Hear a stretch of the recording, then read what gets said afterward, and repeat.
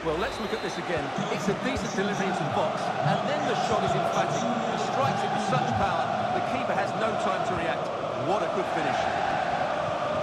A second goal for them here. Can he finish? Able to get a body in the way. So the corner played into the box. Now it still could be dangerous. And the referee's verdict.